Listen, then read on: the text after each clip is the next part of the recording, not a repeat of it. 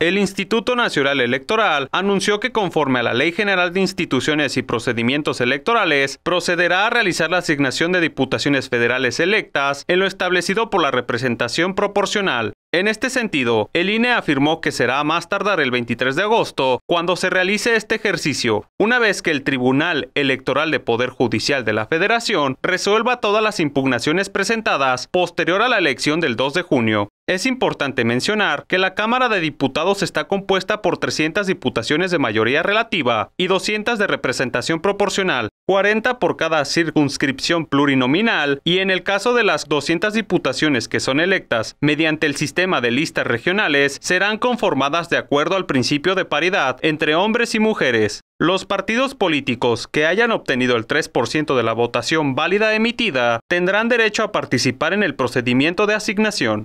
Jalisco TV Noticias, Luis Martínez.